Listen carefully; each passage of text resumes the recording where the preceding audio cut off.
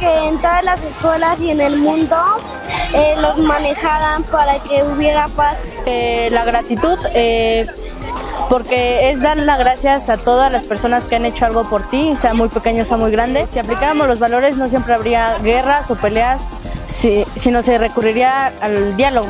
El valor de la alegría, a veces yo veo a mis compañeros tristes y a veces siempre los quiero apoyar para que no se sientan así.